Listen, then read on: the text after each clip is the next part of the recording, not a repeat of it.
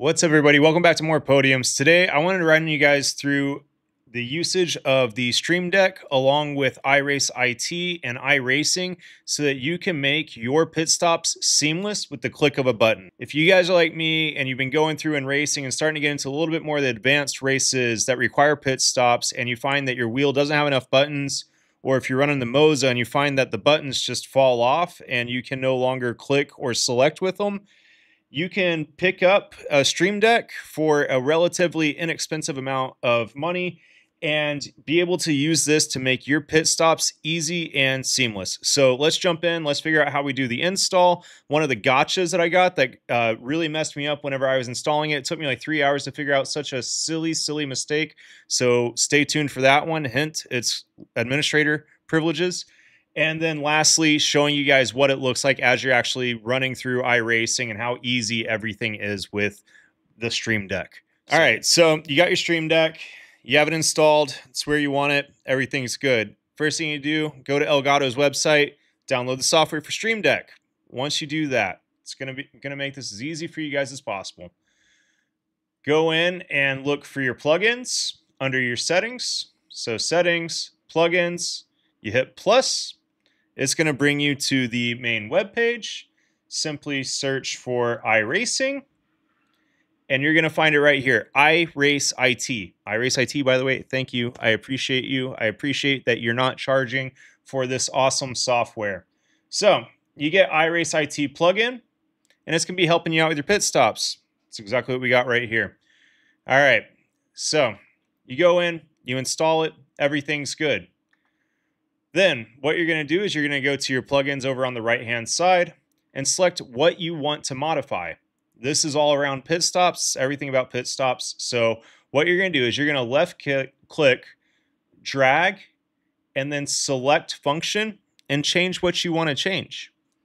By the way, these toggles and these buttons have two options for some of them where if you're selecting change all tires, hitting the button again deselects all of them.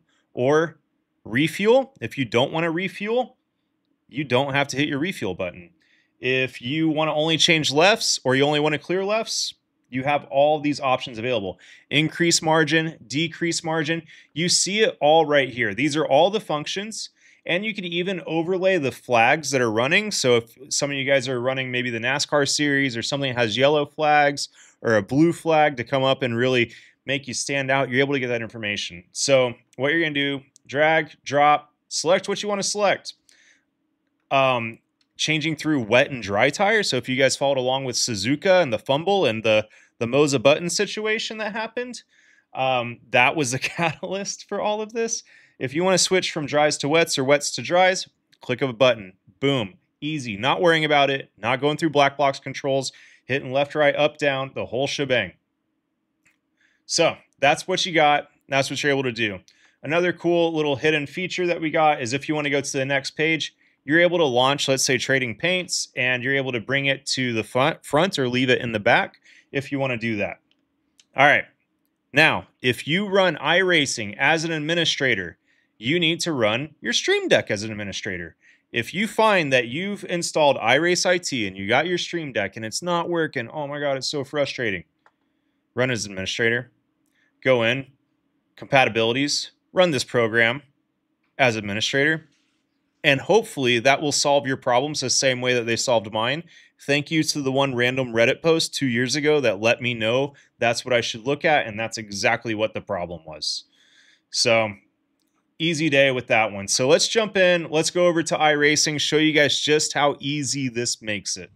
All right, we're loaded into iRacing. I want to show you guys just how easy it is now to be able to do pit stops and tire and fuel strategy with the Stream Deck.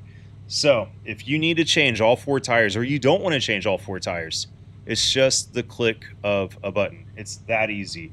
If you want to go from wets to dries, which by the way, their icon changes between which compound you're going to, it's just a single button click. No more fumbling through having to go through your black box controls, selecting which page you want to go to. If you want to refuel or auto refuel, it's just a single click of a button. If you want to increase your gallons and increments, boom. If you want to de-increment, decrement My wife and I are arguing if this not arguing, but we're debating if this is a word. It's decrement is totally a word.